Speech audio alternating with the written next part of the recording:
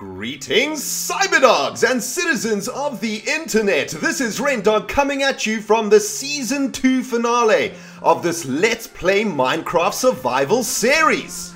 In this special episode, we are going to be having a look back at some of my favorite moments from season 2. And let me tell you, cyber diggity dogs, it is gonna be freaking sweet! Damn! I've also added a bit of a surprise at the end of this video, guys. So if you're thinking about quitting halfway through, think again. There is something really freaking sweet at the end of this finale special. So I hope you've got your tasty beverage closer at hand and a huge bowl of popcorn slash chips because guys, this is gonna be freaking epic. Let's get it on!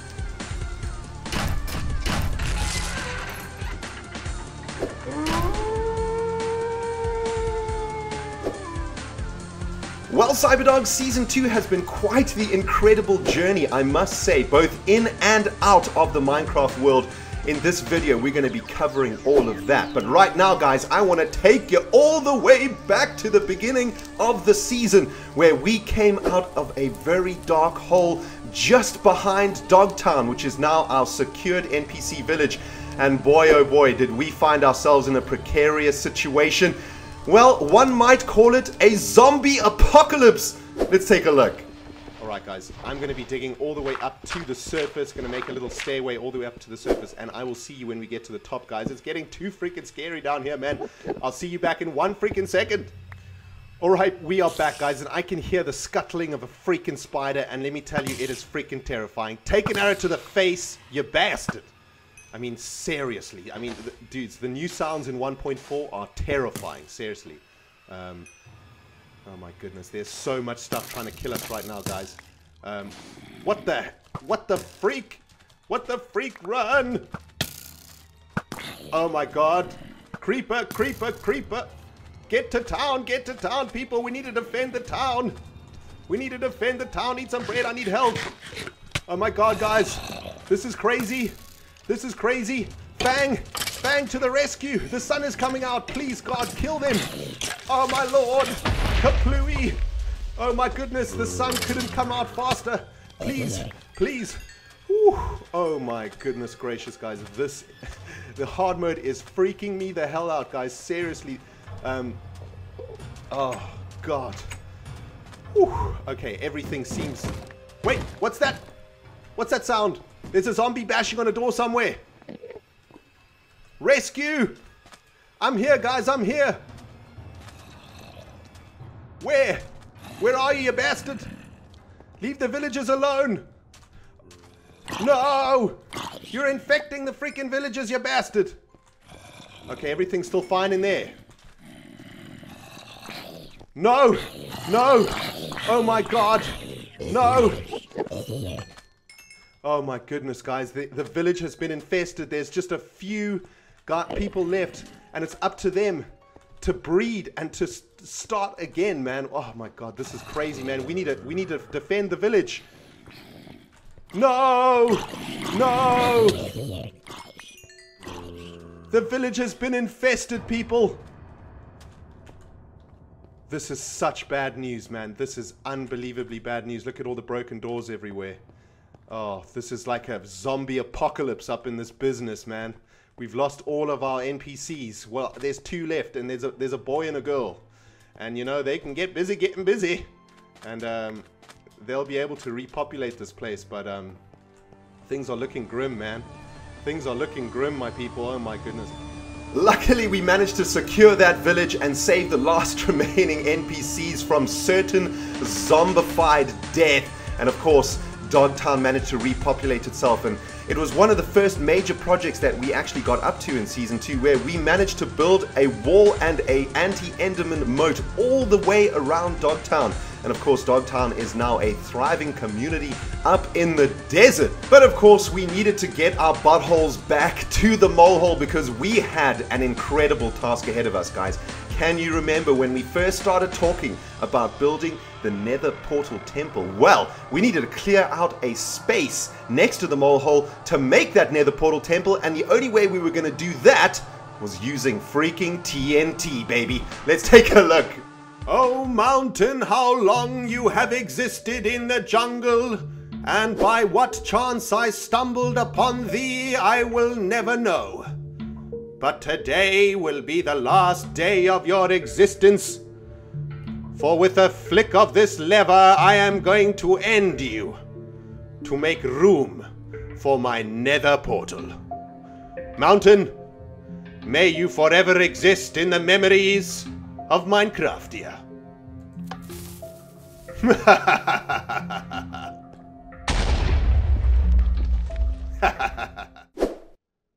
oh, Mountain, we have met once before in battle, and you were victorious. But this time, through the power of Creeper Poo, I am going to destroy you completely. Your time in Minecraftia has come to an end. And may you rest in pieces.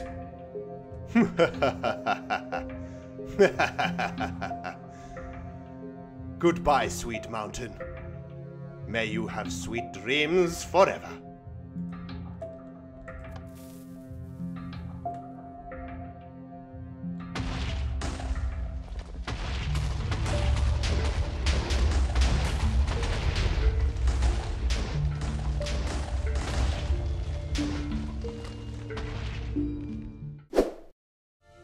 Greetings, Cyberdogs! This is Rendog coming at you from the Nether Portal Temple Foundation in this Let's Play Minecraft 1.4 Survival Series. In the previous episode, we were preparing this mountainside for the construction of the Nether Portal Temple, and as you can see, I have cleared away all the freaking debris, and damn, that is a sweet-ass sunrise right there, man. Whew, damn, that is beautiful. Um, anyway, guys, I have cleared out everything that you can see before you. You know guys, getting my paws on all that sweet ass TNT was one of the funnest things that I've ever actually done in Minecraft and it was actually the first time in this Let's Play Minecraft Survival series that we got to use TNT on a major scale and boy did we make good use of that TNT man. We cleared out an entire mountain face. More importantly though, it was the first time where we actually did some serious terraforming was the first time that we actually started to clear out huge chunks of land to make way for our epic projects. And of course, the epic project that was going to take the place of that cleared out land was the Nether Portal Temple, which is now one of our greatest and most accomplished designs in this series. But we're going to take a look a little bit later at how the Nether Portal Temple came to be. Of course, at that point in the series, we only had one thing on our freaking minds, and that was getting some freaking doggies to join us in the molehole and to actually grow the Cyberdog pack for reals in this Let's Play Minecraft series. And of course, guys, I'm talking about our awesome dogs. Let's take a quick look at how we actually ended up finding our doggy friends. If I lost the sword, I don't know what I would do. I'd be a freaking sad doggy. There's a doggy. Hello, puppy. Ow. Alright, guys, let's see if we can actually tame this freaking dog.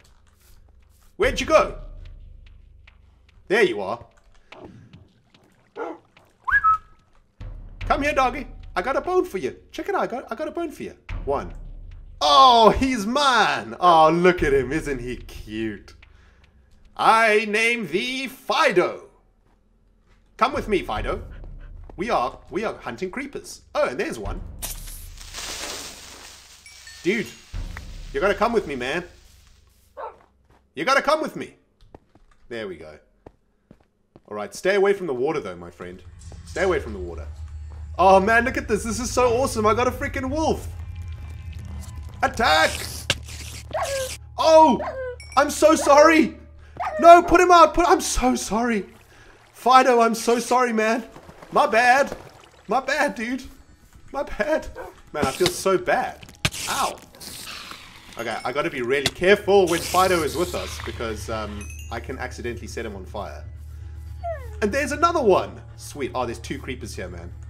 Three creepers! Man, if Fido dies, I'm gonna be a sad panda.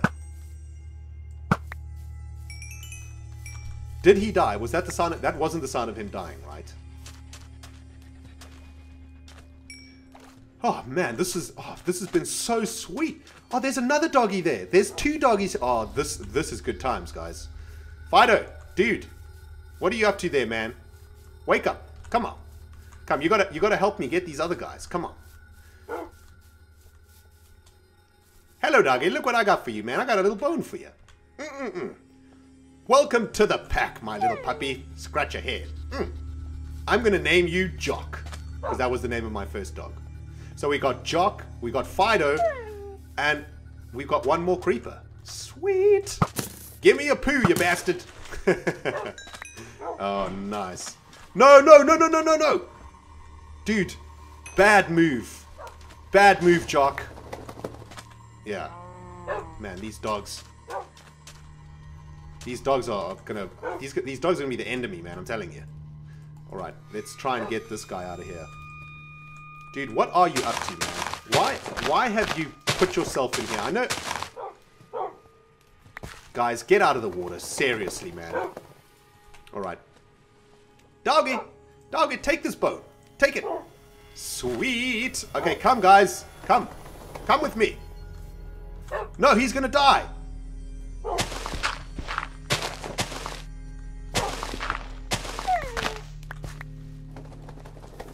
Alright, let's do... I don't know how these dogs work, but um, we need to get them out of this, this watery area. They seem to be slightly bugged. Um, so I'm going to make like steps for them. Hopefully, uh, hopefully they'll be able to get up the steps. Now let's see if we can get them back to the mole hole actually. Come guys, we need to get back to the mole hole. No, don't sit. Don't sit. Follow me. Follow.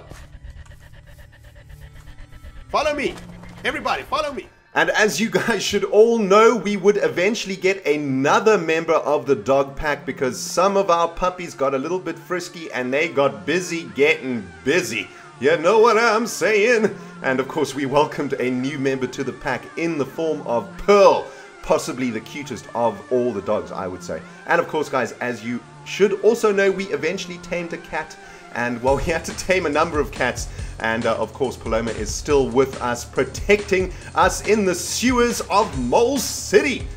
Next up in the series, we started dabbling in a little bit of enchanting. And of course, this was the first time that we enchanted a weapon to be added to our custom Cyberdog arsenal and that was in the form of Rambo.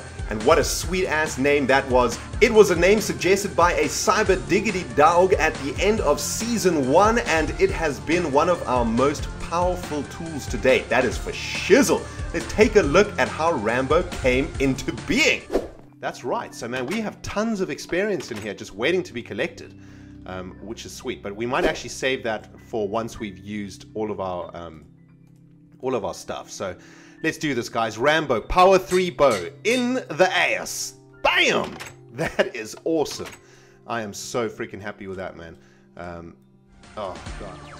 Now, Rambo is probably my favorite weapon only because it completely changed the way that we played Minecraft. Suddenly, exploring, going out at night, going to the nether, all of these things became so much easier with a much more powerful bow. And uh, as you guys know, we eventually got the an, an Infinity Enchant onto Rambo, which gave us infinite arrows. And as you guys know, we were playing Season 2 in hard mode, and Rambo couldn't have come at a better time than it did. That is for shizzle. Of course, we would continue to add enchanted weapons and tools to our arsenal, including the next one that we're going to have a look at, and that is, of course, guys, the one, the only, sweet ass freaking Terra the pickaxe, man. And wow, did Terra change Minecraft for us in an unbelievable way. Not only did uh, Terra allow us to dig through cobblestone like nobody's freaking business, it basically halved the time it took for us to mine things like iron, coal, redstone, etc. And uh, Terra, being an incredibly over enchanted pickaxe, has really been uh, the cornerstone of season two, in my opinion. I, I don't think Terra gets as much um, as much credit as she deserves because without Terra, we would never have been able to achieve what we did in season two. Let's take a look how she came to be. I know what you're all saying, man. You got 34 levels and you're not doing anything with them. So let's stop messing around and let's get to the Wizard's Tower and to the Anvil. Let's repair up Fang because Fang is looking Man, Fang is looking really, really in pain at the moment, man. Damn, he's got less than, than half his durability going. And, uh, you know, we don't want to lose Fang. We also want to make... Uh, we also want to make our pickaxe, though. That's the thing. We want to name and make our pickaxe. We've got our Unbreaking 3 Efficiency 4 pickaxe here, which is, you know, epic. And um, I want to fix it. Um, now, if I put... Can I actually...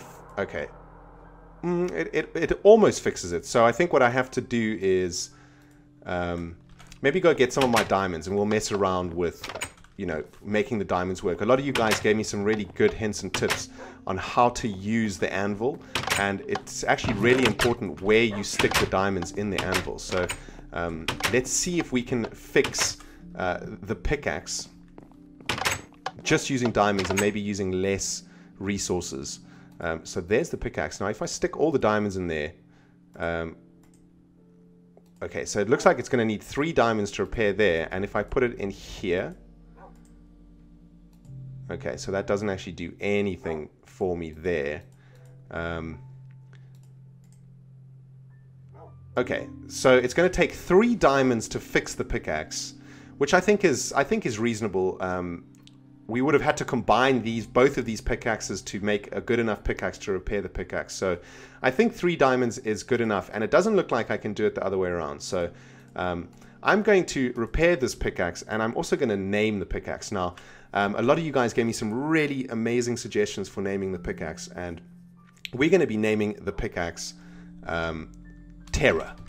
And the reason we're going to be naming it Terra is it is in I'm naming the pickaxe after Terraria, in honor of Terraria, which is where I started um, my my YouTube videos. So um, this pickaxe for, will forever be known as Terra, and uh, that is in honor of Terraria. We're gonna we're gonna be using all of our freaking levels for this, but I think that's worth it. We don't actually need Fang uh, right away. Um, so we will be repairing Fang and Rambo at a later stage. But please welcome Terra to the Cyberdog family the latest addition to um, the set of Cyberdog goodness, man. And this pickaxe is badass. Efficiency 4, Unbreaking 3. This pickaxe, it, it means freaking business, people. Let me tell you, man. Um, well, I, we could probably fix up Fang um, a little bit, right? Let's see. Oh, but we, we're going to need the levels. Um, but that's cool, guys. So, oh man, I'm so happy with our new pickaxe. This is epic. Terra, you are amazing. And as you guys know, we would eventually start enchanting other tools and weapons, including another iron pickaxe called Claw with Fortune 2, which is capable of doubling up on awesome things like diamonds and emeralds. We'd also make Paw the shovel, as well as the armor of the dog and the armor of the butthole too. So uh, a lot of enchanting and a lot of anvil work going on in Season 2, and damn man, it has been freaking sweet. Next up in Season 2, I got a little bit of inspiration from one of my favorite Minecrafters, Etho. And uh, what I wanted to do was to recreate one of his sweet ass piston doors for the Nether Portal Temple. Let's take a look at that sweet ass project. Still one of my favorite things that I've made so far. Let's take a look, guys. Alright, there we go. Looking good. All right, gents and ladies, of course, let's have a look what it looks like. Oh my goodness. Oh, wait. Wait, there's more symmetry fail. Let's just complete this wall right here. Um, there we go, guys. Look at that, right? So that's going to be the entrance into the Nether Portal Temple. And uh, you're going to run along here on glass above lava. And you're going to hit this pressure plate. And uh, kaplam, the door's going to open and uh, you get through just in time. And what's what the, the genius of this design of um, Ethos's design is that there's a hole in the middle, and this is going to be a one-way door only, right? So the only way to get back out is with a with an ender pearl, right? And you can just ender pearl your way through this hole. That is the genius of this design. Um, so one more time for the road, guys. We're going to run through the door. This is going to, there's going to be another pressure plate here to open up, uh, to lift up a bridge here, go over the bridge and into the nether portal temple. Man, I am so happy with how that piston door turned out in the end. And you know why, Cyber Dogs? Because it looks like a freaking butthole. That's why. But damn do I love it. But guys, by this stage, the foundations of the Nether Portal Temple were starting to take shape and we had already lit one of our Nether portals. and it was time to take our frightened asses into the nether. And my goodness, will I never forget my first encounter with a Ghast. It was some scary ass jazz. Let's take a look, my friends. Greetings, cyber dogs. This is Rendog coming at you from inside the nether in this Let's Play Minecraft Survival series. And we've got a freaking. Oh my god, what is that? What is that? I haven't even started my intro yet, you bastard! Oh my god, what in the holy name was that, guys? This is Rendog coming at you from Minecraft 1.4. In this Minecraft survival series, we're in the nether and something disgusting is trying to kill us. And, um, he set our freaking portal on fire. This is not good, people. In the previous episode, we were preparing to come here, but I don't know how prepared we are. What in the name of... What is that? Oh! Ooh, I can actually hit these things. What? Oh my... Oh! Okay, oh wait, hang on. Let, let's try this again. Blam! No! Blam! Um... no! Come on! Shoot it at me! You bastard! I can't hit this thing! Ow! Wow, took it to the face. Um, I don't know what's going on here, but um, this thing is trying to kill my ass. And um, apparently, guys, thank you to everybody who gave me some freaking hints and tips in the comment section below, but apparently cobblestone is what you use to shield yourself against whatever the hell that thing is spitting at me. Oh my god, man. I was hoping to come to the nether, do a little introduction, you know, do like a nice little, hey guys, welcome to the nether, this is Rendog, blah, blah, blah, but doesn't look like that's going to be the case, man. This place is on fire. That thing makes a terrifying noise. It basically makes the noise of a baby. And uh, it is terrifying my ass. Oh my god, there's a giant lake of lava down there. Man, if this was Tekkit, I would be so happy right now, man. Holy lord. We could imagine how much energy we could get out of that freaking lake, and damn. Um, but anyway, guys, this is ridiculous, man. This thing is crazy. Um, this thing is trying to kick my freaking ass. Um, so I need to get, I need to get building ASAP. Seriously, man. Um, I'm gonna put up these cobblestone walls. Um, quiet, quiet, baby freaky baby thing. Oh god, that thing is freaking me out big time, man. Um, okay. Well, it's it seems to have got stuck somewhere, at least. Um, there also seems to be something with a giant sword over there. I don't know what that is, but uh, we'll go exploring once I've built my freaking little cave here. Um, oh my god, okay. Alright guys, we can do, do our intro now. So, greetings Cyberdogs. This is Rendog coming at you from the freaking nether in this Let's Play Minecraft 1.4 Survival series. In the previous episode, we were preparing to come to this terrifying place, and here we are. And um, we've just been waylaid by enemies. I have no idea what that thing is, but um, I'm assuming that that... Um... I'm assuming it's a ghast, a ghast, and um, it is very angry right now. Um, listen here, buddy. You gotta leave me alone right now, man. I'm trying to talk to my freaking cyber dogs, okay? Um, this is serious business right here. And, uh, whoa! And you are messing around with us. So, if you don't mind, take your ugly baby ass somewhere else. Please.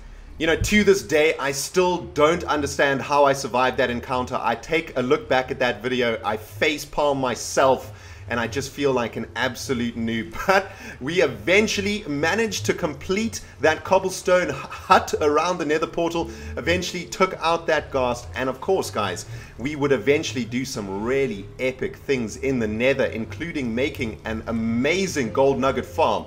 More on that a little bit later in this video, guys. But the very first thing that we started to do in the nether was explore. And of course, we were looking for nether bricks for the nether portal temple. And what we needed to do was find a nether fortress harvest the nether fortress blocks and get them back to the mole hole without getting our butts handed to us by a ghast slash any other deadly thing in the nether. Let's take a look at what happened when we found our very first nether fortress.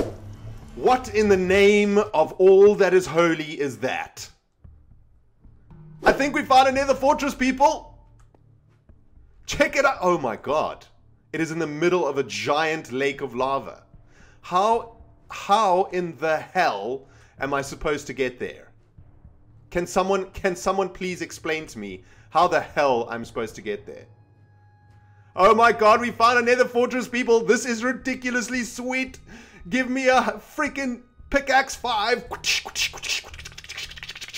Machine gun 5, man. That's what that is, because look what we just found, people. A freaking nether fortress. Epic, epic times. But, um, oh god. Oh god. How are we going to get down there? That is the question. Um, oh my god, guys. This is so sweet. I've never seen a nether fortress before. Look at that. It looks so epic. It's so massive. Um, well, the only way that I can think about getting across there is building a bridge, right? But, um, hmm. How in the name of all that is holy are we going to build a bridge without dying? I mean, maybe we need to get down there and then go along the lava, right? That seems like that seems like a pretty reasonable plan. Oh lord. Okay. Um, there is a ghast with our number. Get out of the way, butthole. Gotta take care of some business up in here. Alright, guys, what we need to do is get down to the bottom. Oh god. Where are you? Oh god, I'm under siege from all angles! Ghasty! Maybe he's like the defender of the freaking nether portal, um, the nether fortress thing. Oh my god, that is so awesome! I need to get down there ASAP. I need to get down there. There he is. Let's see if we can snipe his ass. Come on, show your ugly face. Kaplam! Boom! Nailed him! that was awesome. Gotcha, you bastard. That's what you get for messing with the dogs. Man, I will never forget those first few hours in the nether. What an amazing gaming experience it was. I absolutely loved it. And what I loved even more is that I had you guys by my side every step of the way, helping me not die. And man, exploring that giant ass nether fortress was intense and fighting those blazes, man, that was some serious business. Of course, uh, the blaze rods that we harvested from that blaze that we kill would eventually get us a brewing stand, which would eventually result in the birth of Beatrice. So what an incredible journey uh, that was and what an incredible outcome eventually it would result in. You guys can call me freaking Yoda, man. Speaking of blazes, let's take a look at our very first encounter with a blaze in the nether. Oh, look, it's a cute little pit of lava. Isn't that cute? But it's wrong! okay, uh, it's the run of death! Run! Hey, there's a pig over here. Oh, there, there is a blaze spawner, guys. Look at this! Oh my goodness. Let me see if I can actually secure this. Will putting torches around this actually secure it? This is epic! Guys, you know what I need to do, man? I need to make a nether portal right over here or, or over here somewhere, right? And then go back to the, the normal world and maybe link it up with a, a railway line. Um, where is home? Home is 273 meters that way. We could make a cobblestone tunnel railway line all the way to this mob spawner over here. Look, it's a blaze spawner, people. This is so sweet. Oh, God. There's another one. There's another one over here. Secure it. Spawn. Oh, Lord. Bam! Bam! Oh my goodness gracious, guys. Well, that the, the torches don't seem to have stopped the spawnage. So um, that's bad times. Next up on the agenda for Season 2 was beginning work on the Nether Portal Temple. And of course, this was going to be a giant-ass temple made out of nether bricks in commemoration of the Nether Portal.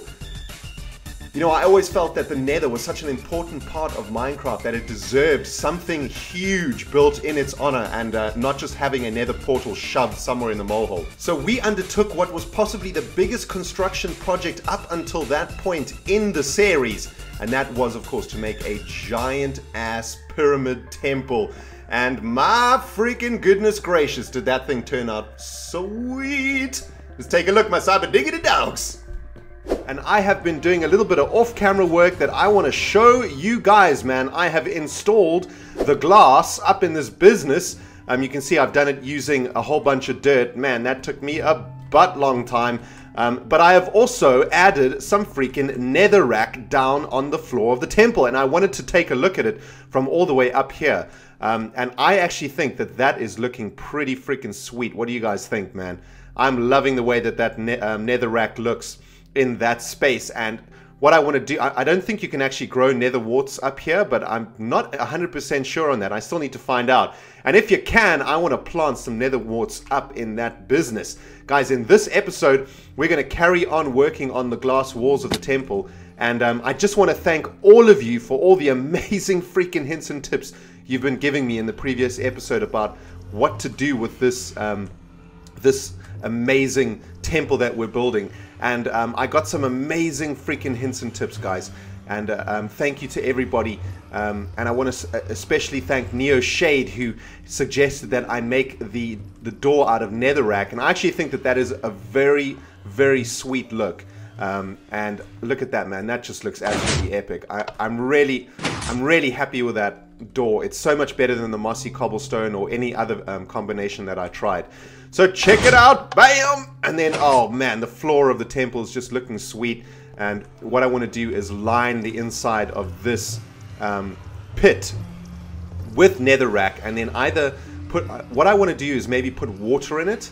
Um, in the previous episode, which was uh, made last year in 2012, we were working on the Nether Portal Temple, guys, and it is now 2013 January 8th, and I am back from my holiday ready to play some freaking Minecraft with my Cyberdogs. And I cannot wait to get started on everything that we need to finish off this year, man. There's the lakeside villa that we still need to work on. But guys, the Nether Portal Temple, we were working, well, I have been working my butthole off to finish this Nether Portal Temple. It is looking freaking epic, man. You can see that I've done quite a lot of work off camera so I want to take you guys through the changes that I've made. I decided to come up on this pillar over here to get a different perspective of the temple because I haven't seen it from a sort of bird's eye view yet. And as we can see guys, I have finished these lava pillars and put braziers on top of them. I've also put braziers on top of the uh, temple itself. I think it adds a pretty sweet effect. And I've added grids all the way down the oxygen entry holes of the Nether Portal Temple. That is their official name. And um, I've also been working on the walls of the cathedral entrance to coming into the Nether Portal Temple. Still got quite a lot of work to do over here, but guys, I'm going to take you downstairs to show you what I've done inside the temple. I've basically finished it off, and uh, it is looking freaking sweet, man. You know, those of those of you guys, who, perhaps you are new to the series, you might not have seen the Nether Portal yet because um, we haven't been there in a while. And uh, let's go have a look. So this was a temple built in honor of the nether portal. Um, I didn't, basically I didn't just want to make a nether portal just somewhere smack bang in the molehole. I wanted to actually do something to, to really celebrate the nether portal because of course the nether didn't exist in Minecraft until, I don't know until when, but it was a long time that the, that the, uh, the nether, you know, you couldn't actually get to the nether. And I think the nether is such a, an amazing idea and it really added a new dimension to Minecraft. And um, I'm such a huge fan of, of, the Nether, and and this is what we uh, was our first major project of season two, and probably our biggest project ever in this series. Um, you know, making use of a lot of different materials, making use of lava. Um, you know, trying to make this place look really awesome. You can see we've got the lava flowing underneath the glass, and just trying to keep everything looking really, really sweet. We built these epic braziers, which was a fantastic suggestion by many cyberdogs. And of course, the Nether Portal Temple. But before we go into the Nether, I wanted to quickly backtrack and show you guys this door um, we just ran straight through it, but I want to take you back because it was one of the first real redstone constructions that we did in season two. And these pressure plates actually open this door just like this. And and, and this is called the nether portal butthole because it basically looks like a butthole. And it is inspired by a design by Etho. And uh, he's an incredible Minecrafter. And I'm very, very proud of this um, construction. And um, it, you know, it was really freaking sweet, guys. But I want to take you into the nether now to show you what we have done on the other side of this portal, which is basically hell hell.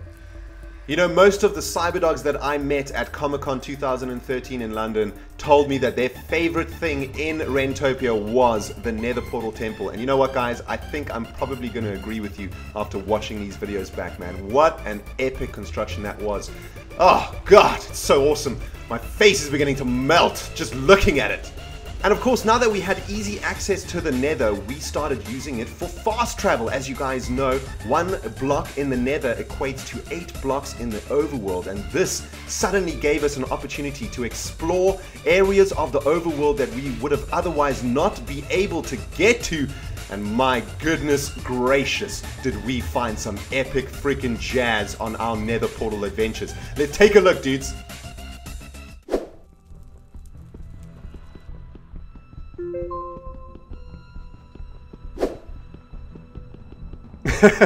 How long did that take to break? Damn. All right. One, two, one, two. And then it's got to be another... No! No! Wasteful. And then we got to come... Um, we got to come across like this.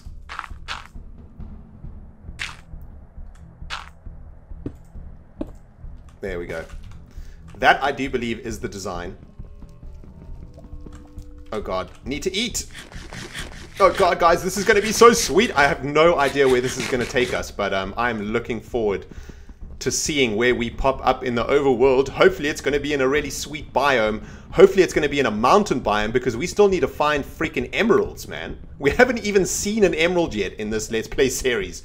Can you believe it, man? That's uh, just ridiculous. We're going to try get a butt ton of emeralds once we make Mole City just beneath the mole hole because we're, we're going to be able to start trading with the villagers of Mole City and we're going to be able to increase our, um, our emerald count dramatically um, hopefully. Alright guys, the nether portal is ready to be lit. And uh, let's see what is on the other side of this bad boy Kaplam. Alright guys, this is it. We're going to a new freaking overland. Let's hope for an epic adventure, guys. Give me a freaking five. Let's do this, baby. Overland, here we come.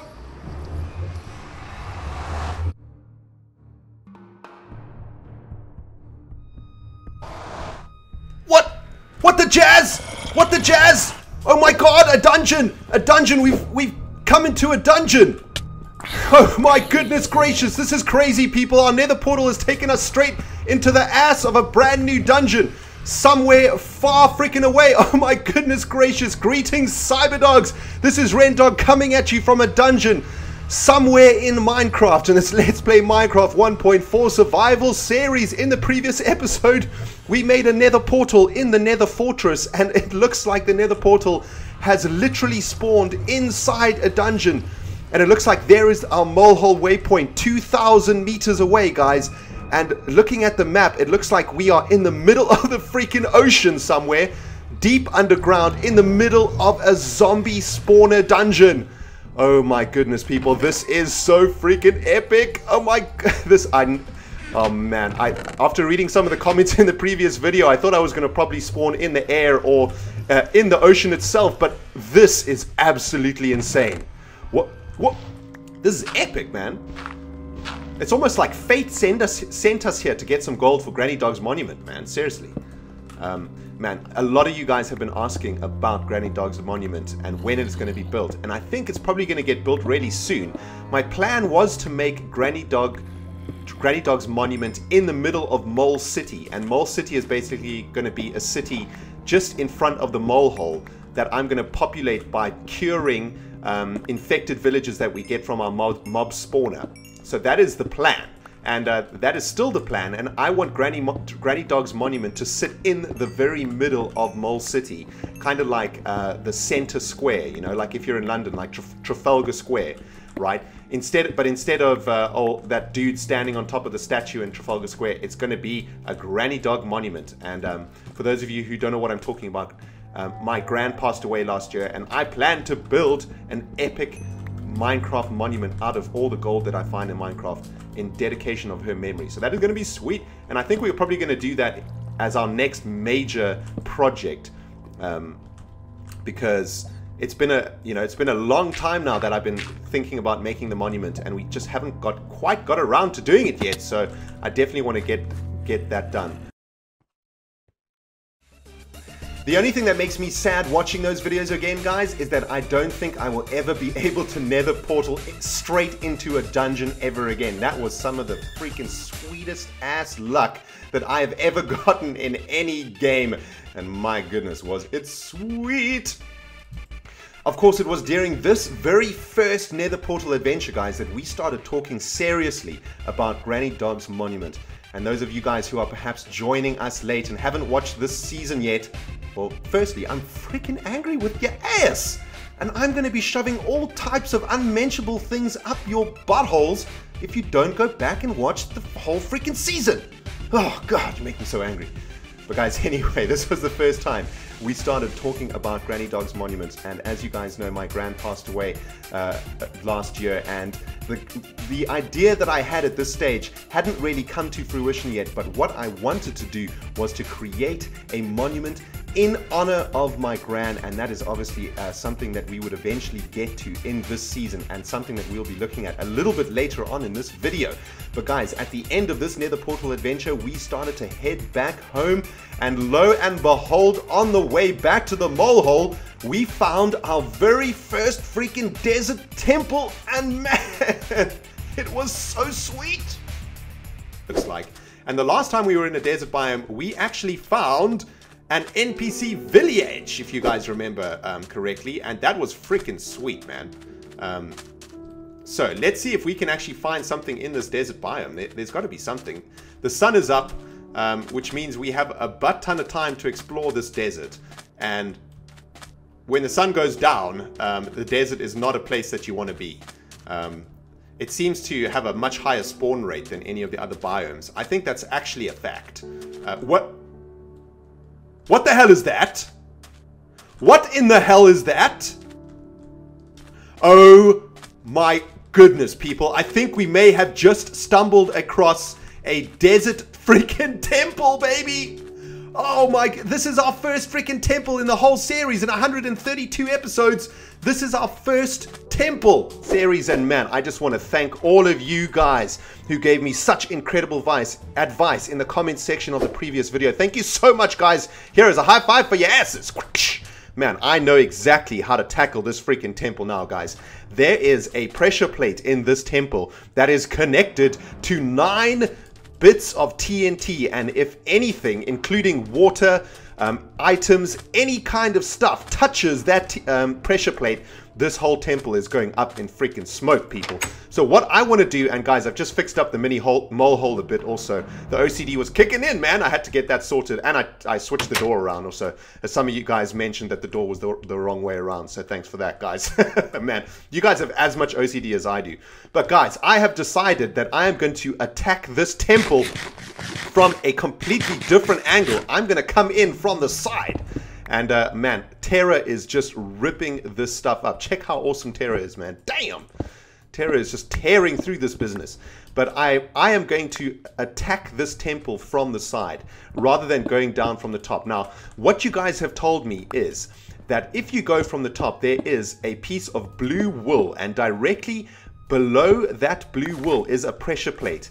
And if you break the blue wool, the, the, the blue wool item actually hits the pressure plate. And you know what happens after that, man? Kaplam is what happens. And um, a lot of you guys have spoken about going, uh, digging sort of around the pressure, the, uh, the, the, the, pressure plate. Okay, I think we've hit the temple, guys. Um, and some of you have spoken about building um, a gravelator down into the into the temple itself. And I thought that all of those were sweet ideas, but I think that they are pretty risky. And I wanted to attack this freaking temple from another angle. Holy goodness, check what's going on up in here, man. Ooh, hello. So there is the, the, the pressure plate. There is the blue wool that you guys were talking about. Oh my goodness, that was actually quite close. Um, those freaking stone blocks almost landed on that pressure plate. It's still pretty unbelievable to me that I did not drop that block on that pressure plate, man. Damn! And of course, we went back to the mole hole with a butt tonnage of gold from looting that desert temple, and uh, that was a, that was a good time, man. I really, really enjoyed looting that temple. But that was one of our longer adventures, and man, I was so happy to get back to the mole hole. And the first thing we started to work on when we got back was improving the farmlands. And what we wanted to do was move the animals from the original animal pens, which were right in front of the mole hole, if you guys can remember that from season one. And we were going to move them down to the farmlands. And let's just say that the great animal migration of season two did not go that well. Let's take a look, guys. Man, I have no idea if this is going to work, um, but we're going to give it a go. I think wheat is for, for cows, right? It looks like it. oh my god, this is crazy. They're going absolutely crazy, man. They, they want this wheat so bad.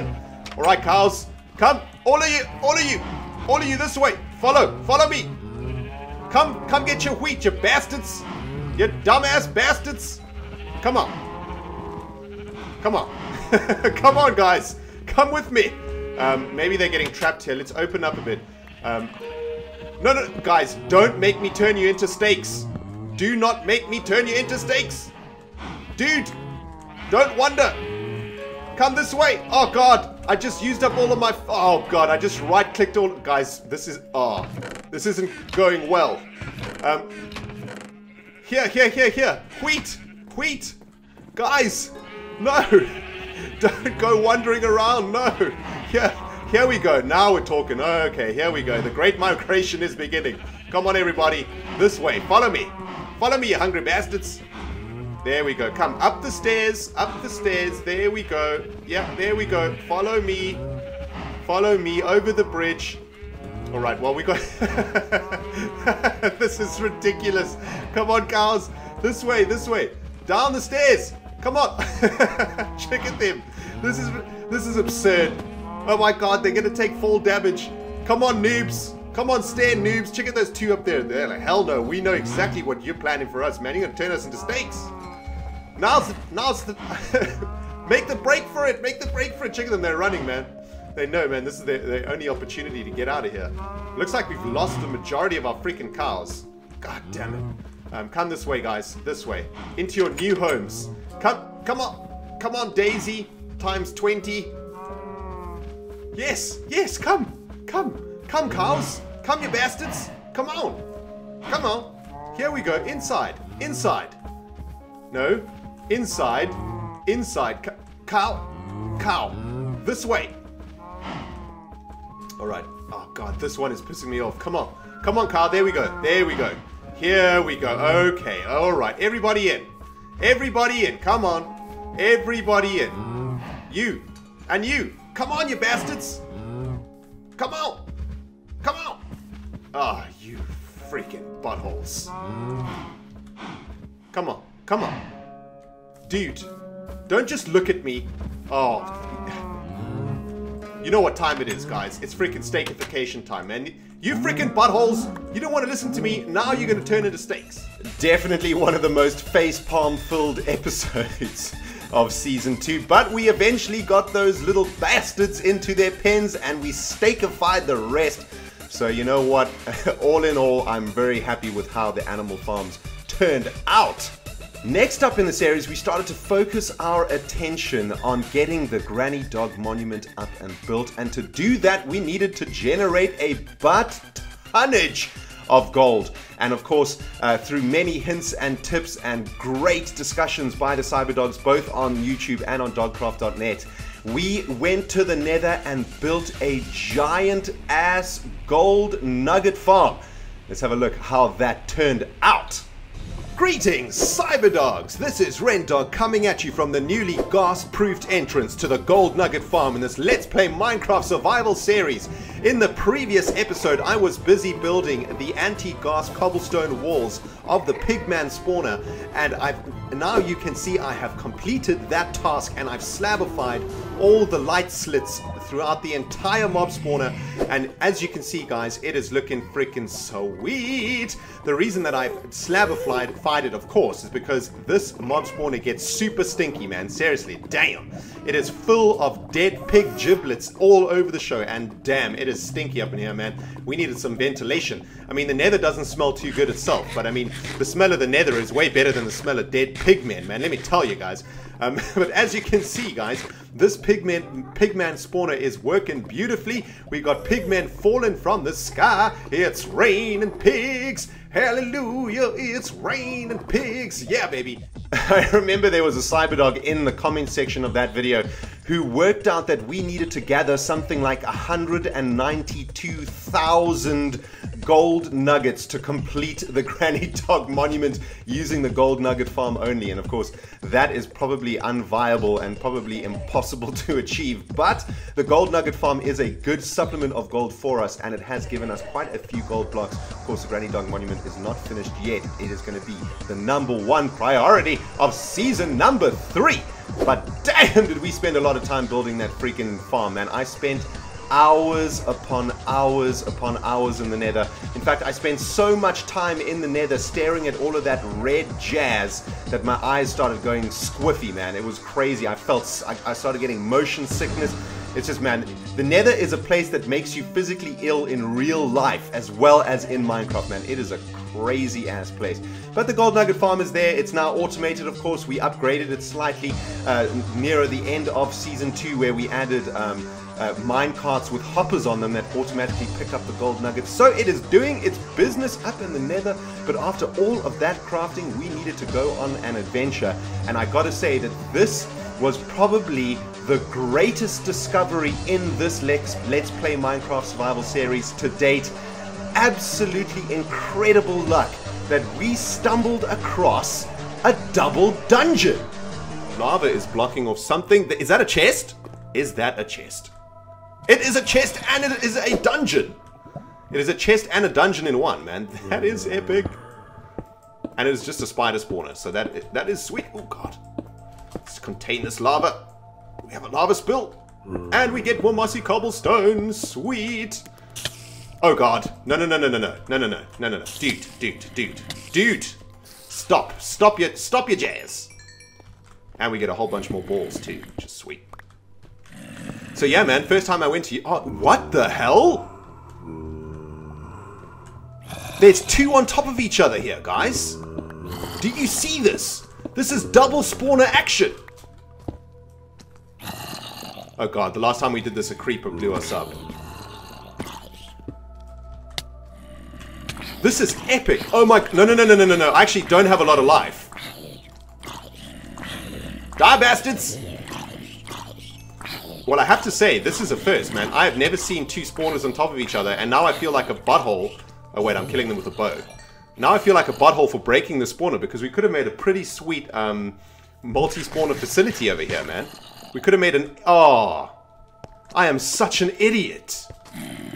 Why did I break the spawner? Oh, God. I are idiot. I are idiot. My bad. My bad. This is pretty sweet, though, right? Double spawner action, we could have got zombies and spiders. So we could have got spider eyes and zombie flesh all day long. Um, instead, I completely messed it up. Man, I'm, I'm an idiot. I feel so dumb now. Bread! Dude, where are you spawning from? Oh, this spawner is still making you spawn, is it? Blam! Oh man, that I feel so dumb, man. We could have made such an epic spawning um, thing here, but hopefully we can find something like that um, closer to home. Because this is pretty far away from... Oh, an enchanted book! Fire Protection 4? Oh my god. That is so epic. Dude, can you not see I am busy freaking out? Leave me alone. Fire Protection 4, people, and a music disc. What? This is the most epic loot. This is the most epic loot I've ever got from any chest. A music disc and an enchanted book from a chest. And another another enchanted book, Respiration 2. I don't I don't even know what that does, but it sounds freaking sweet. Man, I will never forget that adventure, spotting that double dungeon, getting all of those sweet ass books.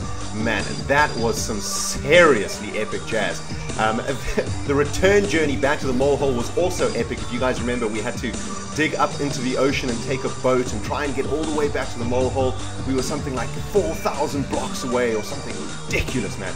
But man, that was an absolutely epic adventure. But you know, guys, when we got back to the mole hole, it was time for burnification. Trogdor was circling the mole hole, and it was time to clear the land for the, uh, uh, the eventual arrival of our biggest and most ambitious project in this series now and probably for a very long time Mole City. And of course, we were going to be building Mole City in front of the mole hole, and we needed to clear out a giant ass area of land covered in trees and foliage and all other types of jazz that we had to get rid of. Of course, the best way to get rid of jazz is with fire.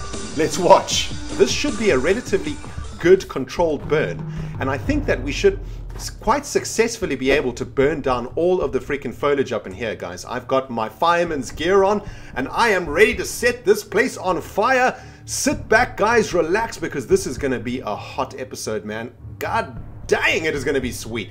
So, guys, I hope this doesn't go horribly wrong and we end up burning down the mole hole, but um, hopefully that won't happen. I've got buckets of water at the ready just in case things get out of hand. But, guys, let us get freaking burninating up in here, man. Freaking burninating the peasants. All right, why don't we start right here with these trees in the back here, guys. Um, let's try and do this quite systematically, you know what I'm saying? So let's work our way um, up the, the actual foundation or the, or the surrounding boundaries of Mole City, man. Let's work our way up here. This one is a bit precarious because it's very close to the railway lines. I think, I don't think I'm going to set that one on fire. Oh my god, guys, look at this. This is absolutely crazy, man. Ooh. Oh my goodness, this is spreading really quickly. Um, I really do hope that this uh, wasn't a bad idea.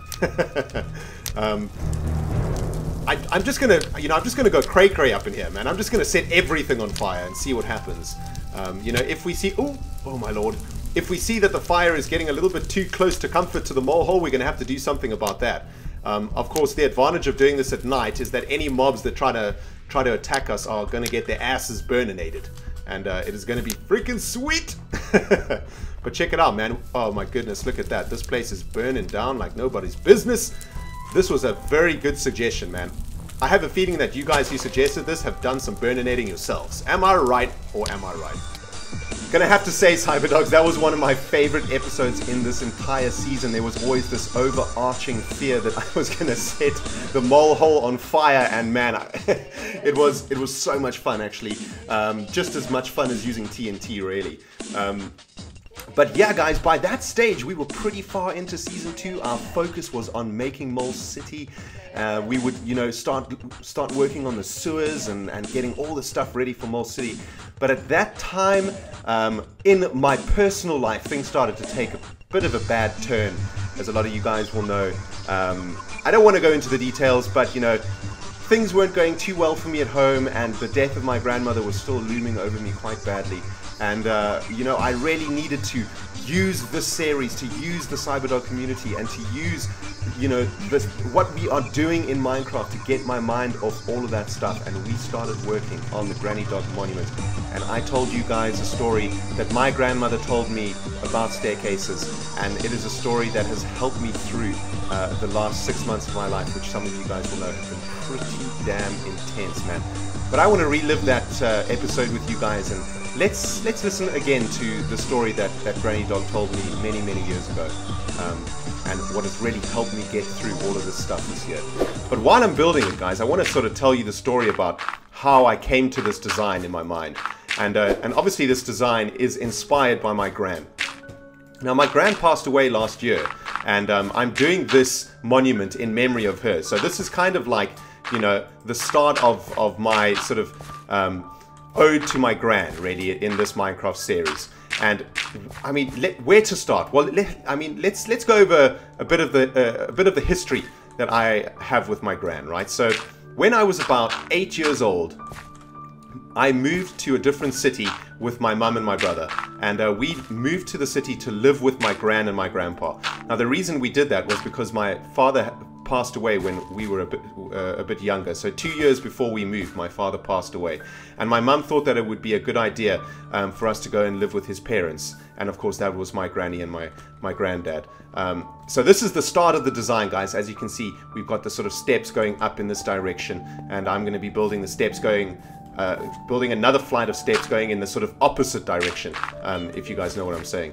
But so we moved to the city and we actually lived with our grandparents for quite a while for um, I think it was probably two years or so um, until we until we moved into our own house in this in, in the new city. But um, I remember one day I had a really bad day at school, and uh, I, I was at cricket practice and I was actually really late for cricket practice. Um, and the reason that I was late for cricket practice was because um, I think I was messing around with my friends, either at one of the gang um, hideaways. I don't know if, if, the Silkworm gang had started yet, but we were certainly messing around somewhere um, in the school when we should have been at cricket practice. So I was really late for cricket practice, and my cricket coach was angry with my ass, man. Damn, he was raging. Um, so as you can see, guys, we've got sort of two sets of stairs now going up next to each other. I do like this. Um, I like where this is going. And um, anyway, we got to cricket practice and and my cricket coach was really upset with me. So what I want to do now is sort of try and build a, a structure that goes straight up the monument. This kind of be like the walls of the beacon, if you will. And anyway, my coach decided to punish my ass. Well, I guess as any cricket coach would, you know, I was I was probably being really naughty somewhere in the school when I should have been at cricket. And uh, he made me run up and down this flight of stairs that, that took you up to the library of the school. And um, man, it was probably like two stories high, or it might have just been one flight of stairs, but because I was a kid, it seemed really, really high, you know. Um, so now we've sort of got the the peak of the of the monument going up the middle of the monument here. Let's go have a look like uh, what that looks like. Um, so anyway, he punished me like this, and you know I was really angry and I was really embarrassed, I guess. Oh man, that is looking awesome. Um, and I went back home, which was back to my my granny's house, and she had a piano room in her house. And uh, when I was really down or really angry, I used to go and play in the piano room. And I, and I didn't really know how to play piano. Um, but you know, I, I, I, was just I was angry, man. I just wanted to, to, to make some noise, and I think I was probably bashing the piano. Um, I remember sort of just you know making a whole bunch of noise on the piano. I was probably trying to get attention, you know. I was probably trying to get someone's attention, um, and I certainly did get someone's attention, and that was the attention of my gran. And uh, she came into into the the piano room, and she was, you know, she said, "Why are you why are you bashing on my on my piano like that? That's a really old piano, all the way from Europe. You shouldn't be bashing on it." And um, I felt really bad, and I apologized. And I told her the story of, uh, you know, what my coach had done to me, and uh, you know, she listened intently, and um, you know, she didn't interrupt me while I was talking, and she gave, she was sort of stroking me and, and, and hugging me and telling me, you know, don't worry, everything will be okay. And um, you know, after I finished telling her the story, she told me something that, that I always remembered that and that I always took with me. And I'm, I'm just thinking about whether to raise this these stairs one level.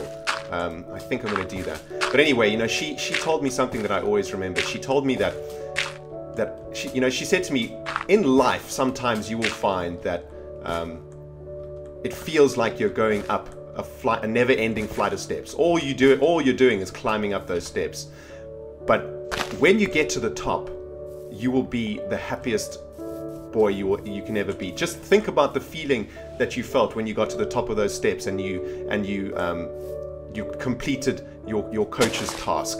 Um, what did you feel? And I said, I felt so, so happy. And she said, That's exactly what life is like. When you get to the top of the steps, you are just absolutely happy um, and content. And, you know, I always, at the time, I didn't know what she was talking about, uh, talking about. And I was like, Granny, what the hell are you talking about? But, you know, now that I'm older, I'm able to, to really think about those words. And I, and I do agree um, 100% with my gran, you know, that life is like climbing a giant set of stairs, man. It's freaking hard most of the time, you know. You get tired, or, I mean, most of the time we're tired, most of the time we're working our asses off, man. This life is not easy.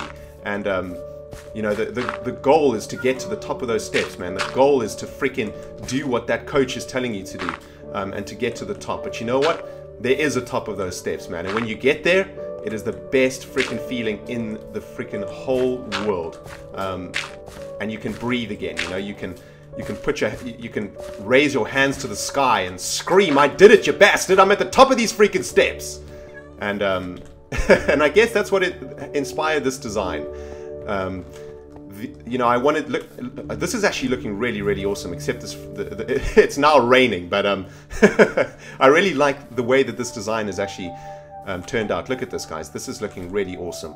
And and these steps are the sort of the representation, I guess, of of my journey in life and, and especially my grand's journey. You know, she had a, a really hard, hard time um, in her in her younger years. She she was a survivor of World War II, her and my grandfather, and uh, they left Europe to go to South Africa after the war. And you know, they came to South Africa with very little, and um, they managed to, you know, to make a, a, an entire family from nothing, um, essentially. They, you know, were able to make really do something with their lives after the war, where many, many people had just given up. Um, my my gran and, and grandmom were determined to start a family and to make sure that you know um, they could start again and be happy out of Europe, and that's exactly what they did, man. And and this monument is is a is a tribute to them and their their journey up the up their staircase of life, and um, and and that is basically where I got the design from. um, and man, I can't believe we finished it. It's, I think it's actually looking pretty sweet. Um, it looks really awesome from this angle over here. Look at that. That is looking really awesome. I mean, I think what we need to do is sort of try and uh, give it a... And that's it, guys. You know, you, you got to climb those stairs, man. You got to get to the top because at the top is a huge stack of freaking diamonds. and that is my current goal in my personal life as well as my current goal in this Let's Play Minecraft Survival series. And you know, after I finished the uh, the uh, uh, initial foundations of the Granny Dog Monument, I was pumped, man. I was in such a Minecraft mood, and I decided that I wanted to start working on something that was going to be logistically quite difficult. And what we did was we headed to the underworld of Mole City to start working on the sewers. And I wanted to get those sewers looking as awesome as possible and as realistic as possible. At that stage on the YouTube channel, we had just finished a, just finished a Dishonored series too. So I was inspired to make some dark and dingy sewerage pipes. And that's exactly what we did, guys, and we had a lot of fun with TNT. So let's take our asses back to those kapluis, kaplams, and kaplows. Okay, let's do this, guys. Flint and steel. Kaplam! Bam! Sweet. Okay, so that is actually chaining perfectly three blocks apart. And um, this, oh man, this is going to make our lives so much easier. Um, it kind of makes it a mess, but we'll clean it up, you know, and, and uh, after that, you know, it'll work. It's going to, I mean, look how many blocks this got rid of that we're not going to have to waste terror on, for example. Okay, so let's do this again, right? So, one, two, three, TNT. One, two, three, TNT. And rinse and repeat. Three, TNT. One, two, three, TNT.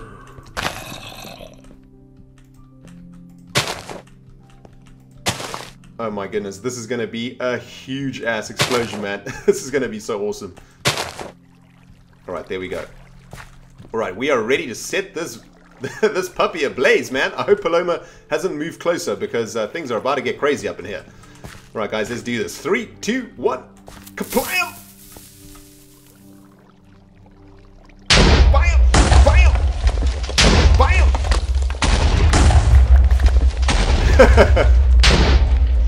Oh man. Oh, that was absolutely epic. Oh my goodness, that was insane. Absolutely perfect. That was so sweet. Chick Paloma's just like, dude, that was really dangerous. Where was the health and safety inspector for that one? but that is absolutely perfect. Look at that, guys. Oh man, that is that is what I would call a win. Um, all we got to do now is clean this up, and then we can actually um, complete the tunnel uh, of this artery. Of course, um, we'll need to do the same for the arteries that run this direction, but um, I don't think we're going to have enough TNT to actually do that. Um, we might have to go on a bit of a, a creeper grinding mission. But check it this, guys. This is, oh, this is so awesome, man. This is exactly what it must feel like if you work in construction and you get to blow stuff up, man. It must just be such a satisfying feeling, like after you've blown everything up. You know, it's daytime now, right? So obviously it's going to be a little bit brighter than usual.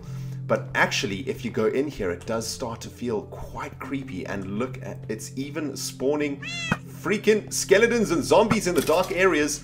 Um, you know, I had a long think about this and I thought to myself, you know what? Actually, it might be quite cool if um, look at this. Look how creepy this is, man. This is awesome.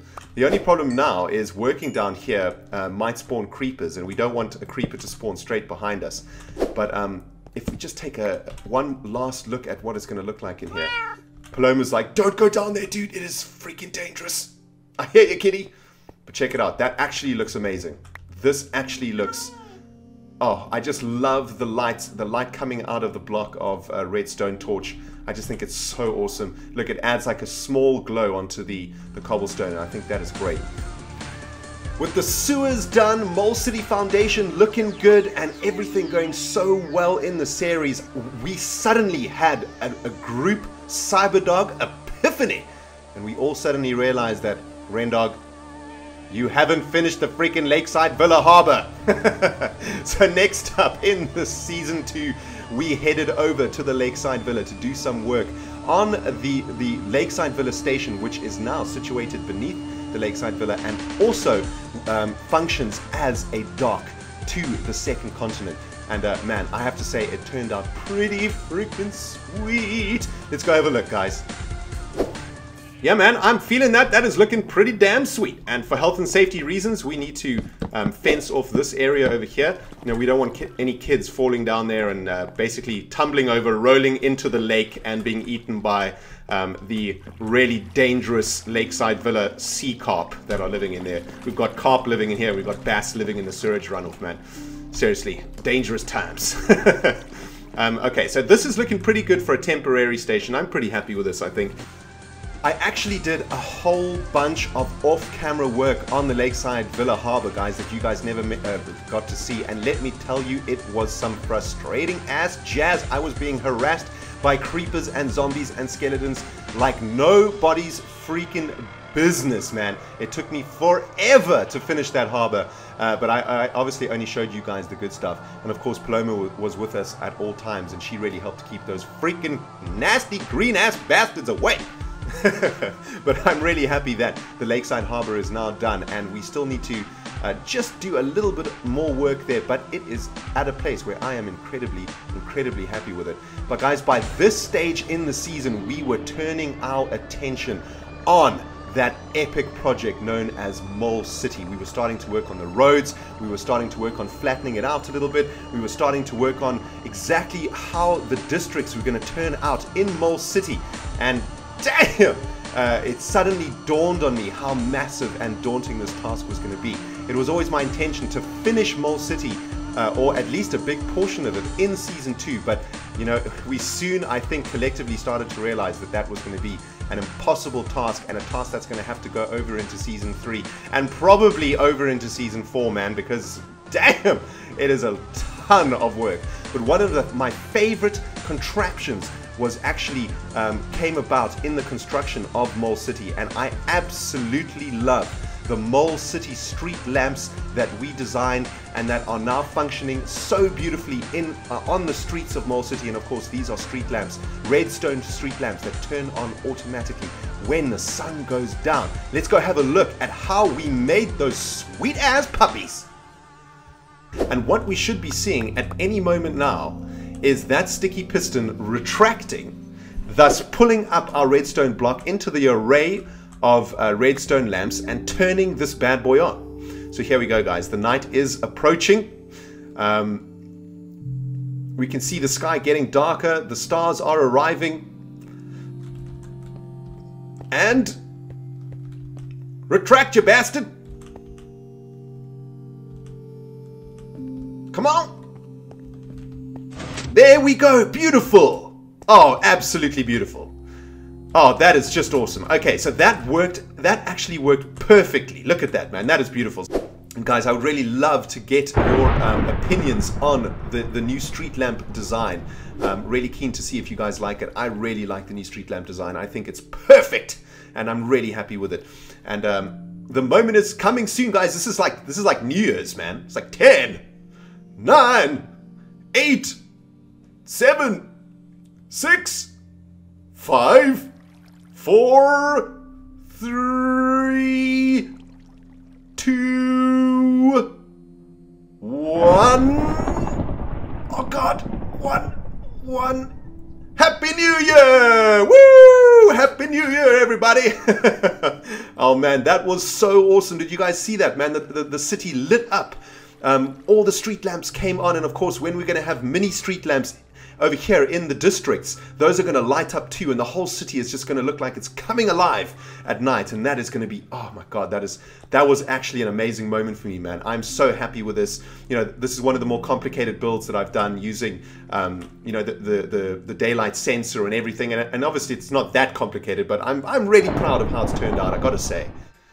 Definitely one of my favorite moments in this entire Let's Play Minecraft series. When those street lamps went on in that video, when the sun went down, my heart just started racing with happiness, man. I was so happy that we had managed to use just these weird ass blocks in this game called Minecraft to make what is going to look like a city look like it's coming to life. And you know, sometimes I lie in my bed and I imagine Mole City being completed and entirely populated with NPCs walking around the, the, the, the, roads, going in and out of each other's houses, and those street lamps coming on at night. And I can just imagine the city alive and bustling and just going absolutely crazy, guys. And it is going to be so freaking epic when it is done. I cannot wait uh, to go on that journey to completing Mole City and to bring you guys along with me, man. Damn!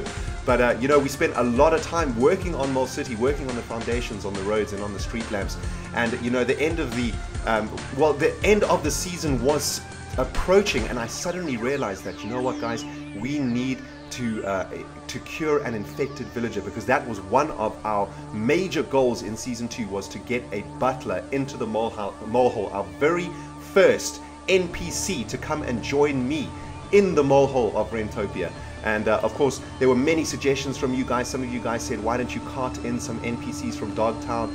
And uh, there was some other suggestions about how to get NPCs to uh, the mole hole. But you know, we settled on trying to cure an infected villager and isolating an infected villager in the butthole to do so.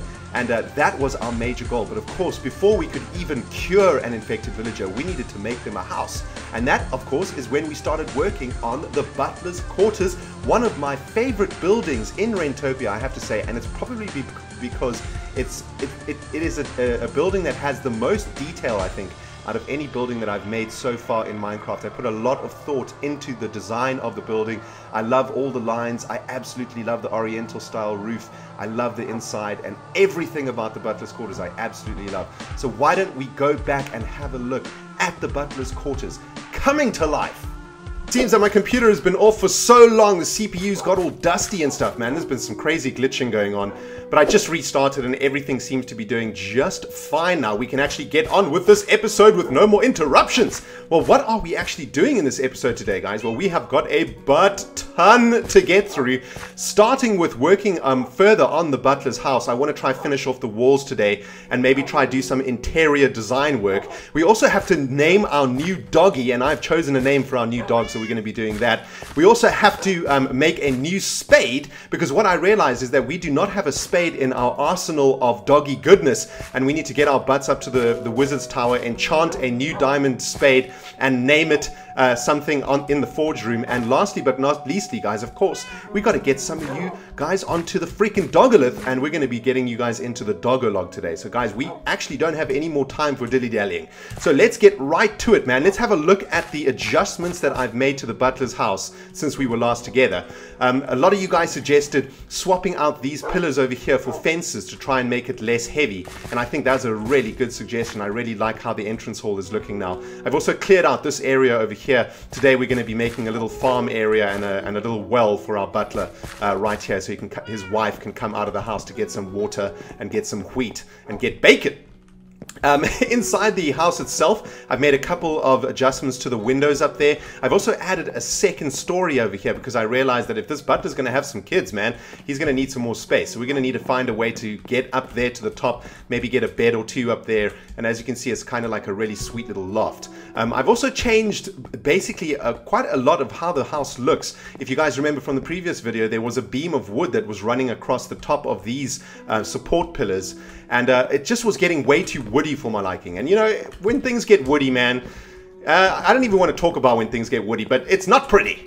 Alright, cyber diggity dogs, we are back, and as you can see, I have found a very sweet ass painting configuration for the butler's house. What I've gone with over here, right? Th these are the colors of mole of the mole hole, um, and what I've got I've gone with is the blue and white banners over here flanking this crazy ass painting over here and then above their bed are these brown banners. So what I'm going to say is that these brown banners are in fact the butler and the butler's wife's family's colors. So um, you know they're they're an ancient family. They've been they've been butlers for for generations, man. And these are their colors, and these are the colors of Rendog and of uh, the Molehole. Um, the the the kingdom of Rentopia is blue and white. So this is a representation of the butler working for us, but as well as respecting his ancient roots over here in his uh, brown flags over here above his bed. So I think that guys, is looking absolutely freaking sweet, man. Um, really, really love these paintings. I've been doing this for about 20 minutes, though. Um, it's kind of annoying. It's it's uh, it takes a long time to actually find something that you like. Um, you see, like that is pretty sweet, so we'll leave that there. And um, man, that is looking sweet. I am so happy with this. Absolutely epic. And uh, man, the butler better be freaking grateful for this sweet ass house that I have made him because damn, I would very much like to move in here. And uh, you know, if the butler does anything wrong, he's gonna get his ass fired. And you uh, and myself and the cyber dogs are gonna be moving into this freaking sweet ass house. And then, my cyber diggity dogs, it was time for the cherry on the freaking top, baby. It was time to cure that infected villager and to get the butler in his rightful place in his quarters. And man, that was one of my favorite episodes too. Absolutely loved uh, the whole process of isolating that infected villager using the brewing stand that we created from the blaze rod that we got in the nether fortress to cure an infected villager who would affectionately later be known as Beatrice, my unofficial lady of leisure in this Let's Play Minecraft series. Let's take a look at how Beatrice came to exist in the world of Rentopia. Um, let's just kill off a couple. Oh wait, there, there's one, guys. There, look, he's got his. No, no, no. Ooh, damn! Look, that is an infected villager right there. He's got like um like a, a, a, cloth on his head. I'm pretty sure that that is an infected villager because all the other um, zombies don't look like that. Guys, we have this. We have our infected villager right there. Okay, all right, guys. This is our this is our chance. This is our chance to isolate him. So let's kill all the mobs around the infected villager. Please do not move into the into my arrow infected villager. Please, spider. Get out of my freaking life, man. You are messing with my jazz. Take it to the spider ass. Okay, there's our infected villager. Okay, our plan is working, guys. Right, let's drop him down into the curing pit. Let's hope that he survived. Let's get down there. Let's see if he's actually survived that fall. I can't believe it, guys. We, we actually have an infected villager. We've managed to isolate an infected villager. All we need now is a golden apple to cure this infected villager, and that means we're going to be able to, to give birth to the mayor. Oh my goodness, this is awesome. Okay, let's go, let's have a look in the curing pit. Um, he's in there. He has survived the fall. All right, now listen here, buddy. You need to stay in here for a while. I need to go to the nether to go get some nuggets. You are you can't go anywhere. Just chill in there with your string. I know, I, I mean, you know, make some some patterns with that string. I'm sure your mama taught you how to make patterns with string. So get busy doing that, man. I will be back really soon. I mean, and your house is waiting for you. Look at it, man. It is waiting. The fireplace is lit. There's food in the cupboards. Um, oh, man. You are... Oops, I just trampled some of your crops. My bad. Um, but we will be back, Infected Villager. Please, please do not despawn. From what I can tell, we need to throw this potion at him. And, um, you know, that is... It, it, we, with all this water about, you know, the, the water might stop the, the effect of the weakness potion. Who actually knows what could happen when I throw this weakness potion? I think I'm also going to turn my particles up to full um, so that we can see when he becomes uh, infected with the weakness potion. We can see all the little bits floating above him or around him or whatever. Um, to show that he is being cured or, or, or, not. So let's get rid of the water source in here. Uh, looks like there's one more somewhere over here. Uh, there it is. Okay, so he is down there. Let's just add this. Okay, he actually can't get up here anyway, so that is fine. Um, all right, so there he is down there. Now let, us see if this actually works. Okay, guys, this is the this is it. We are going to be making the butler. Hold your thumbs. Let's hope this freaking works. Let's throw this freaking weakness potion at him um, and hope that it hits him. Bam! Right, I, I have got weakness on me. Does he have weakness on him? It looks like it. Okay, let's feed him a golden apple. Right click. Right click. Oh god!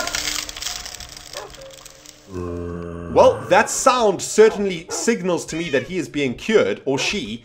He's got some weird red stuff coming out of him now. Um, oh! He's like, help, I'm suffering, I'm dying, the zombie inside me is trying to break out of my brain. Come on, baby, turn into a villager. Come on, you know you want to do it. Come on, butler, come to us. Man, this is like a birth, man. This is like being in the hospital, the delivery room. You're almost there. Push, push, one more push, one more push. Come on, you can do it. I can see the head. I can see the head. All right. Well, I guess I guess I'm gonna I'm gonna throw this this puppy into fast forward mode, and uh, we'll just stare at this guy for a few minutes in fast forward mode. And on the other side of this kaplam, hopefully he's gonna transform into uh, a cured NPC. Kaplam!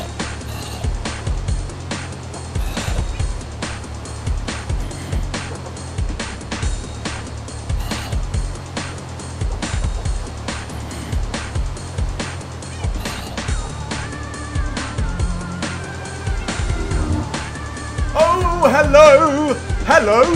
Hello, madam! Hello, madam uh, Beatrice! Welcome to the mole hole! You... Oh, I, am so happy to be employing you. Your, your resume is wonderful. You have served some great lords and ladies in your time, and uh, we are... The Cyberdog Nation is very happy to welcome you um, to the pack and to the population of Mole City. May you uh, stay for a long time.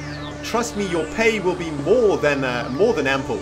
Um, at least 64 gold nuggets. I mean, 64 gold ingots a month, if that will do you. Um, uh oh, we better fence this off. She might go running, running off. But guys, we have cured our very first infected villager, and we have a female butler, Beatrice the butler. Welcome, Beatrice. Um, there is a home waiting for you. Let's see if she heads, uh, if she makes this her home. She does. Bam! Oh, and she closed the door. She closed the door. She has made this her home, guys. We have successfully, successfully birthed our very first NPC, the Butler of Mole City. And uh, I gotta say, guys, now is no better time for a freaking high five in this glorious jungle rain. You know, guys, bringing Beatrice into this Minecraft world was more to me than just a goal in this game. It represented to me a new beginning, a new start. Um, it was kind of therapeutic for me, man. I was going through a really bad part uh, of my life at that stage, and bringing Beatrice into our world was like it was like a new life, you know. It it it, it represented to me uh, a fresh beginning, a new beginning, and and it was a it it may not seem like it, or it, it may sound really dumb, but to me, Beatrice arriving at the mole hole was a, it was a really meaningful moment for me, and uh, I will never ever forget that. As long as I mean, who knows how long we'll be uh, on YouTube and you know how long we'll be playing Minecraft. But for ho however many years we do this, I will never never forget that moment. And whenever I think about it, I think so fondly about you guys, about all the amazing and incredible support that the Cyberdog community gave me throughout that time in my life. And uh, you know, again, I want to I just want to take this opportunity to thank the guys on dogcraft.net who stood by me thick and thin, even not having seen me for many weeks when I was at my very, very worst, not being able to work, not being able to go online, not being able to do anything. You guys stuck around for me, man. You guys waited there for me, and you guys always believed that I would be able to get back on my feet. And you know what, guys? Without you, I would never have been able to do that. And you guys all know who you are. And uh, I gotta say, man, I freaking love you guys so much. And I, I will never be able to thank you enough for what you have, have all done for me. And you know, the same goes to all of you cyberdogs who have been giving me such incredible support, man. Sending me emails, making me fa fan art, making me videos.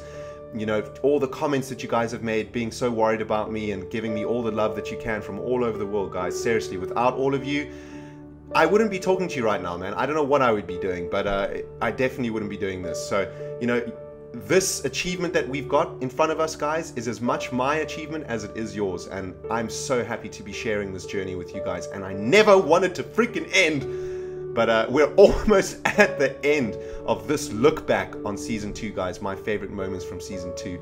And uh, we're going to have a look at one more scene. And that is, of course, uh, the apartment blocks, which is the last big construction that we finished in season two.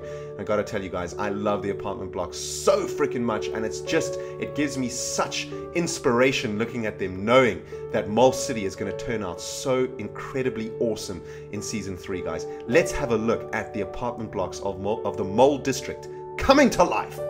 But guys, let's quickly have a look at what I have done to the apartment blocks in the Mole District. As you can see, they are now completed and I absolutely love this design. It's got a sort of oriental feel to it, which I really like, but it, it also um, is very much in the style of Beatrice's house and a very good representation of what I wanted the Mole District of Mole City to look like. And uh, as you can see, guys, um, I've finished off the roof, I've finished off the lips, I've added some awesome pot plants to the sides here, I've added a nice little entrance entrance hall over here, um, glowstone to the top of the doors and the balconies, and of course I finished off this sweet ass balcony. I actually changed the blocks to stone bricks instead of cobblestone so that the balcony would stick out more, and I think that really, um, really helped it you know, really help make this balcony pop. And uh, let's go upstairs to the second story apartment and you guys can see what, that I've also added a balcony to this side and this is going to be a really sweet view. I think what we'll do is take down all of these trees so that um, we can actually look all the way over the farmlands onto the horizon over there. And of course the sun sets in that direction so you'll get a really epic sunset from this balcony. Talk about a romantic place, man. Maybe I'll bring Beatrice over here one day for a, for a sundowner. You guys know what I'm saying? well, my cyber diggity dogs and my friends, that brings us to the end of this season 2 finale special.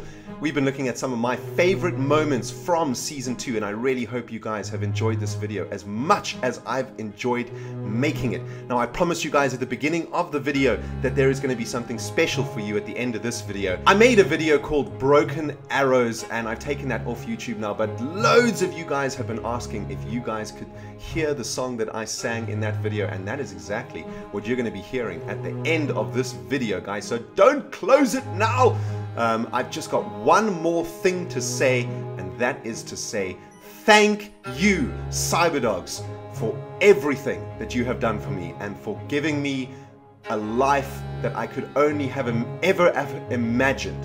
You guys will never understand how happy you have made me, how you guys have fulfilled me, how you have helped me reach my dreams.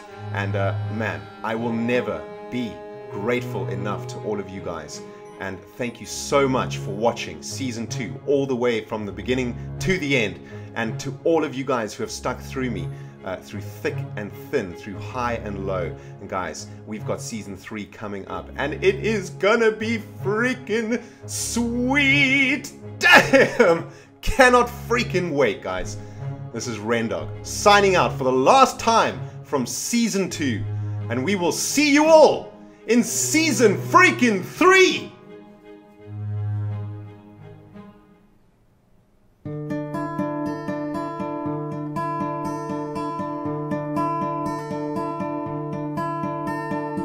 Broken